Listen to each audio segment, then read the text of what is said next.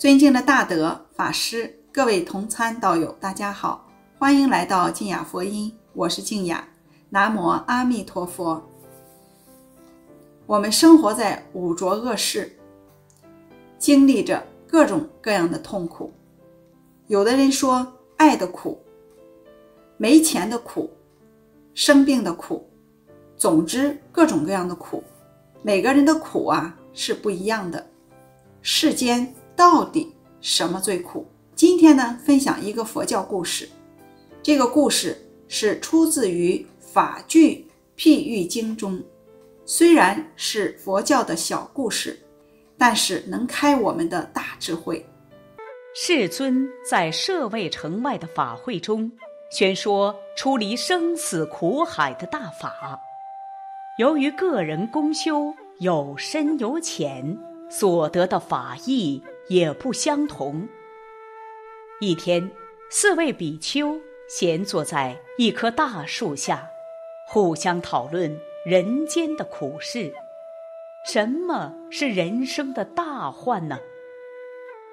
有一个人说：“天下最苦的事，无过于色欲，淫心不断，就入道无门了。”第二个人说：“人间的苦事，无过于饥渴，饮食可以说是维持生命的一件大事啊。”第三个人说：“人生的苦事。”莫过于嗔恚，一念嗔心起，便换来万劫的罪苦。第四个人说：“世间的苦事，当以不畏心为最。如果能有大无畏心，那才是修行的功夫。”世尊以他心通力。了知他们四人所想，于是现身在他们面前，故意问道：“你们在讨论什么事呢？”这四人又重新叙述了一番。佛说：“你们所谈的虽然近似，但不究竟。天下最苦的事，莫过于有这个身体。”身是苦本，所以叫做苦气。举凡饥渴寒热、嗔恚惊怖、色欲怨惑，都源于这个身。劳心疾虑、万端忧畏，三界之中，胎卵湿化，四生之类，互相残杀。束缚层层，而令生死永不息止的，就是这个身呐。所以，如果要出离世间苦，就当求寂灭，摄心守正，无所起念，生灭灭已，寂灭现前，这才是至乐。佛告诉这四位比丘，在久远劫前，有一位圣者已经证得了五通，名叫精进力。有一天，他在树下安坐，闲寂养道。就在附近有四个动物结伴安居，互相依附。一是歌。二是鸟，三是毒蛇，四是鹿。它们白天出去觅食，晚上就回来安宿。有一个夜晚，他们彼此问道：“世间的事，什么最苦？”鸟首先发言说：“饥渴的时候，身体虚弱。”眼睛发黑，神识不清，忘了利刃的威胁，于是投身罗网之中。我们鸟类的丧生大多如此。这样说来，饥渴是最苦的了。鸽子第二个发言说：“依我看来，色欲是最苦了。淫念升起时，无所顾虑，危身失命都由此而来。”蛇接着说：“嗔恚的火一起，便亲疏不分。”既能伤害他人，也能伤害自己。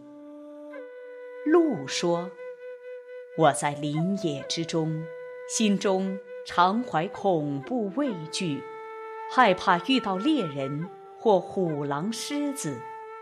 一有风吹草动，我就四处狂奔，不幸跌落陷阱，母子不能相见。”继而肝胆碎裂。这样说来，经部是最苦的了。精进力听完，对他们说：“你们所说的都不是苦本的究竟。天下的大苦，无过于有身，身是苦气，由此牵缠忧畏无量。我。”就是因为这样，才舍弃俗世，出家学道，断灭一想，不贪四大，只求涅槃。只有涅槃寂灭，忧患永除，才是大安。这四个动物听了，心开意解，生大欢喜。佛告诉这四位比丘。精进力就是过去生的我，那四个动物就是今天你们四人。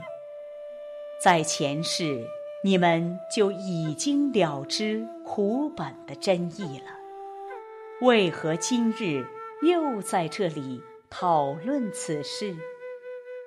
这四人听了，惭愧自责，刹那间证得了。罗汉果位。